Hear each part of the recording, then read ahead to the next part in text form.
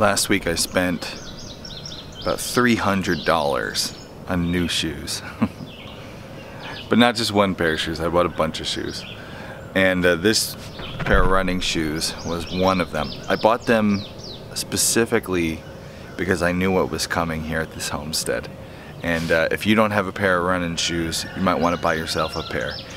In today's video, we're going to talk about a very important step to planning your perfect homestead, and it involves running shoes.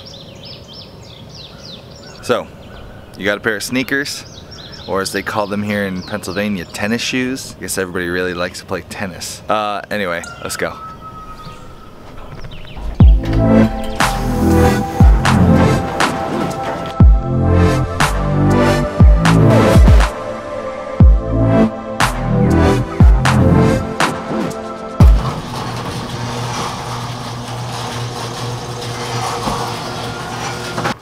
This is the very first stage in planning the perfect homestead. If you haven't seen the first few videos in the series, uh, go back and click at the beginning of the playlist. It's gonna walk you through planning the perfect homestead for you and your family. The first video we talked about dreaming and the power of just pushing limits and imagining uh, whatever is possible. Uh, but now it's time to step into the world of reality.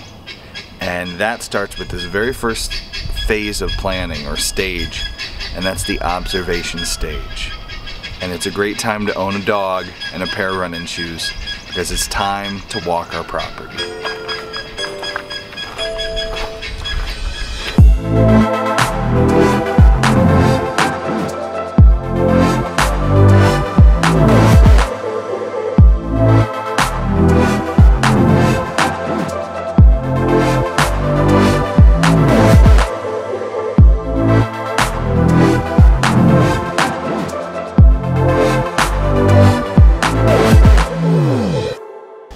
During the observation phase of planning your homestead, you want to make sure you're using all the tools that you have at your disposal. Now I get it, not everyone's going to have a drone, so don't worry. Google Maps does a pretty good job at getting pictures from above. But because I have this drone, well, I need an excuse to come out on a beautiful morning like this and fly it. And today I'm using it to take some photos from above. We'll explain in a future video. Flight altitude reached. Maximum flight altitude, look at that. I get asked a lot what kind of drone I use. This is the Mavic Air and I love this drone. The picture quality is gorgeous. You can get 4K video. Folds up if you're going, you know, kayak fishing, backpacking or something. Here's a phone. Here's a Mavic Air. It's ridiculous. I throw it in my pocket. But you don't need a drone to observe your homestead. And that's what this first phase in planning the perfect homestead is all about. What you do need is a pair of comfortable shoes. It's nice to have a dog and uh, to wake up early before work, before your day really starts. You can tell I'm up here. I, I try to get out here about six in the morning and uh, it's good for multiple reasons. First, it's great exercise. I think I've already started to lose weight because every day I've been doing this morning walk with the dogs, and I'm doing the walk not just for the exercise, not just la di di da da, but I'm doing a walk with purpose. And that's what you want to do if you're trying to plan what you're going to do on your homestead. Now obviously this part of the planning stage uh, comes into reality. You have to actually be able to walk your homestead. If you don't own your homestead yet, that's okay, but you can't do this part until you're there on your homestead. If you're moving to it in the future, go back and watch this video when you arrive.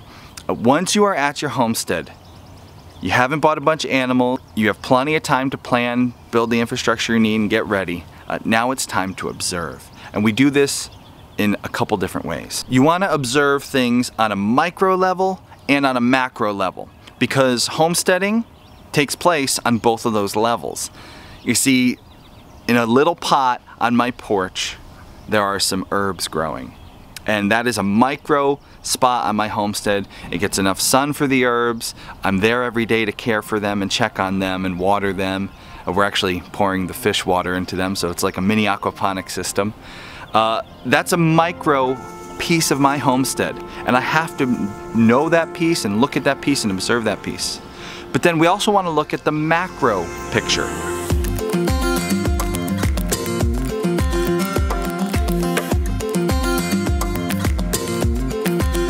And that's what we get walking around the homestead, flying drones, looking on Google Earth later in the day. We wanna see how this property works as a whole. We wanna see, are there areas of the property that are south facing that are warmer in the morning and getting better sun? Are there areas that are cooler, shadier, uh, maybe not good for planting, but great for livestock? We wanna observe the plants on the property. What kind of trees are there? Are there trees producing fruit? Maybe nuts? Acorns? These are all things that you can use when planning your homestead, but you can't use them if you don't know they're there. And the only way to know they're there is to get on some shoes and take a walk and take notes and pictures. Now don't be afraid to go walking in the rain because one of the most important parts of planning your perfect homestead is planning water on the homestead. Uh, you might need to be catching water, you might need to be saving all the water you can, maybe through ground systems like swales, or maybe through water catchment systems. But you won't know where the good sources of water are, where water's going, unless you take a walk in the rain or right after it's over.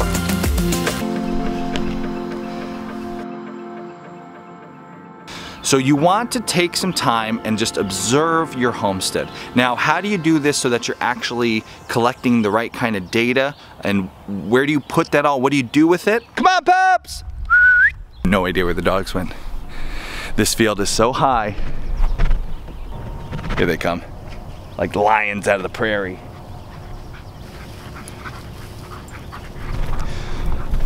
So you want to make sure that you're observing your homestead in a organized manner so that you actually observe the whole homestead. So the first thing you have to do is establish what is yours. Where are the boundaries? Do that with a map at the town hall or if you have a survey done, awesome. Once you know your boundaries, you have a good idea of the property, start walking the whole property and wake up early in the morning, get on the running shoes and just do what I'm doing walk the property. Take notice of the plants that are on the property. Here I have a really beautiful, big, mature oak tree. This oak tree is a white oak tree. I know white oak tree produces acorns that the deer especially love, so this might be a good area to pay attention to come fall, deer season. I also know that I can feed livestock like pigs acorns. If I had pigs up here in the field when the acorns were dropping, that would be an additional feed source I wouldn't have to pay for. Again, these are the kind of things you don't know from a Google map or from a drone flight. So not only do you want to walk the whole property on a big level, but you need to pay attention to those micro details. From afar, I might look and say, great, I already have a fence I can use. But when I come up close, I notice, well, some of this fence has been pushed down, uh, some of it has been lifted up. So I know I couldn't put goats in here that are jumpers because they'll be right over this thing. I also know I couldn't put pigs up against this fence because they would root right underneath it. If I only look from a drone shot or a Google picture and say, oh good, there's already a fence there, I wouldn't know the flaws and the benefits, the, the good parts or the bad. So you have to get out and observe. Now there is no set time for this observation phase. Obviously a bigger homestead will take you longer to observe thoroughly and a smaller homestead will go quicker. But there are other elements that you need to observe that will take a long time. Think about climate. This homestead will look very different here in June than it will in November or February. And really, to plan the perfect homestead, I need to be fully aware what's going to happen in the different seasons.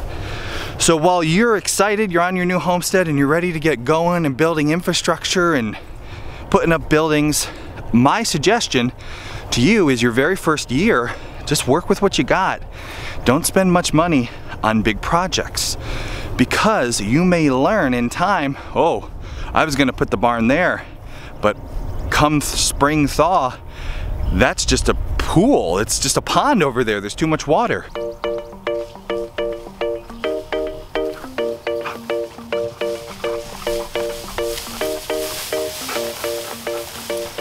You want to become familiar with what your pastures are like. What's growing in your pastures? What plants do you see? Are they good for cows? Are they good for goats? From above, Google Earth, or from a quick glance, you might say, this is a perfect pasture to bring cows out on. But what if the plants growing aren't good for cows? What if they're better for goats?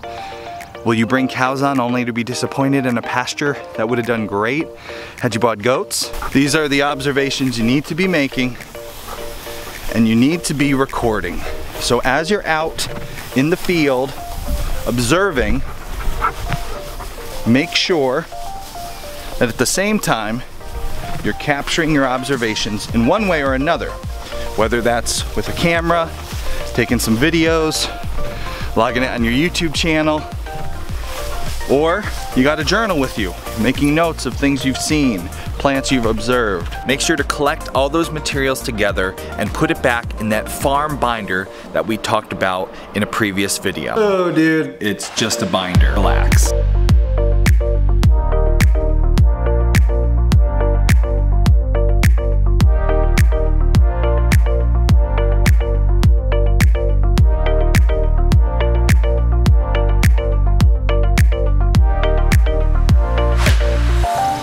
Going out for walks on your new homestead is great for your health, uh, both physically and your mental health. I am feeling a little bit homesick.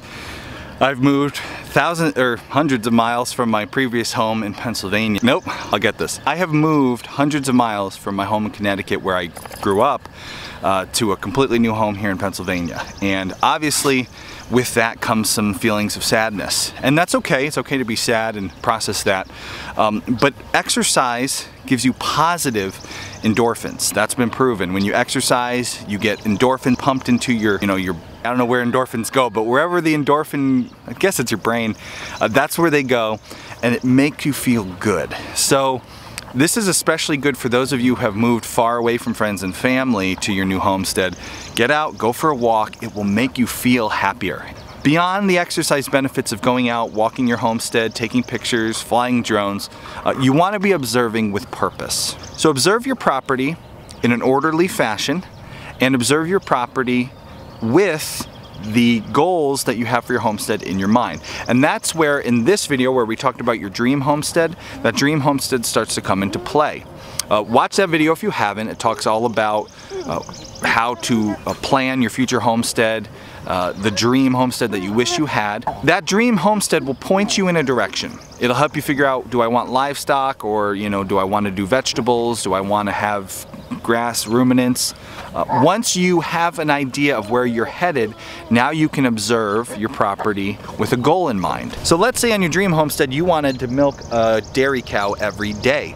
Well now you know as you observe the property, you're going to put on your dairy cow owner glasses and see this is a beautiful field, but is it good for dairy cows?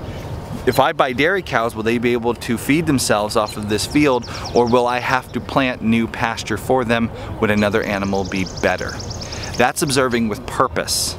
Also, make sure to observe in an organized manner so that you don't every day just walk somewhere without covering the entire homestead. This is one of the areas where mapping out your homestead uh, can be very helpful, whether that's just printing out a Google map drawing it on a piece of paper. And we'll cover the mapping phase or the mapping exercise in a future video to help you uh, map your homestead properly. But just know, having a map and each day looking at a section and saying, today I'm gonna walk the first field, tomorrow the second, Wednesday the third, that will help you make sure you cover your entire homestead on a macro level and on a micro level. That right there is some white clover. These fields are full of clover, which are nitrogen fixers. Putting grazers on this field like goats would mean the clover would stay put and uh, allow the soil to get more and more nit nitrogen while the weeds and other browse would be eaten. One of those micro things I've noticed while walking these two brutes around on the property. Now if this seems overwhelming, if you're like, I don't know what plants I'm looking at and I don't know what's going on, don't worry. The best part of the observation stage is that all you have to do is observe. Write things down, take pictures. You don't know what the plant is? Good. Take a picture of it and later when you go back inside, learn what it is. Spend lots of time observing your homestead. This observation phase, it's a lot like dating. Most of us, before we married somebody, we took some time to date them, to get to know them. We learned what they look like without makeup. Probably learned lots of annoying traits. We also learned the beautiful things about them, the things that made them different from anyone else, and the things that made them the right one for us. This is your time to date. This is the time, sorry, I was daydreaming there about my wife. This is the time to date your homestead. Spend some time on it before you go building and before you go setting permanent structures up. Take some time, get to know it, make sure what you want to do with this property is something you can do with this property. And then you will, for years to come, be grateful you took that time to go slow, learn about the place, make sure you had a good idea what it was ready for, what it needed, and you built with purpose. You design the perfect homestead. If you want to make sure you don't miss any videos in this perfect homestead series, sign up to our email list because every Friday, once I get the internet back, I will be sending out an email covering this series, making sure that you haven't missed any of the videos in the series. And uh, this is going to be a long series. Here's the playlist if you're interested in. Uh, keep following along with me and let me know in the comments below what you're observing on your homestead.